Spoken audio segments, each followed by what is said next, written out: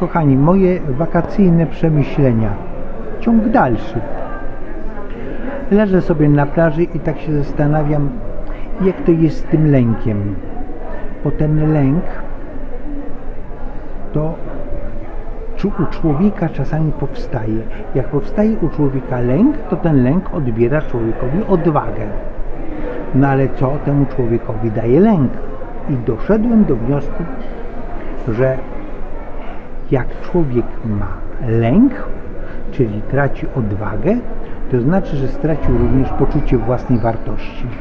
To znaczy, jeżeli ja tracę dobre zdanie o sobie, swoje poczucie wartości, to jednocześnie automatycznie u mnie budzi się lęk, czyli wyparowuje razem z poczuciem wartości, wyparowuje moja odwaga.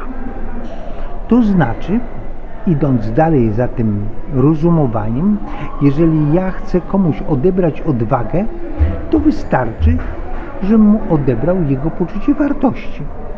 Wystarczy, żebym powiedział, nie dasz rady, nie nadajesz się, to nie dla ciebie, ty nie jesteś wystarczająco dobry. I w ten sposób, jak mu odbiorę jednym zdaniem jego poczucie wartości, to u niego ta odwaga, żeby zrobić to coś, spada do zera.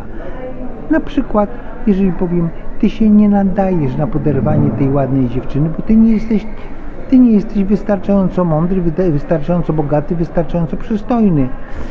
I jeżeli ten facet usłyszy takie zdanie, to natychmiast spada u niego sama ocena i nie podniesie czterech liter z krzesełka, żeby zaprosić dziewczynę do tańca na kawę lub do łóżeczka.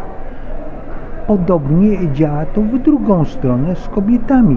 Jeżeli kobiecie się powie, że kochana, ty nie jesteś wystarczająco szczupła, żeby włożyć tę sukienkę, to niekoniecznie jest to dobra rada.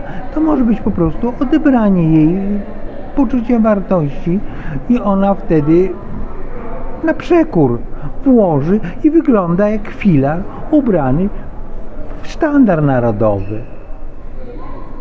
Amen.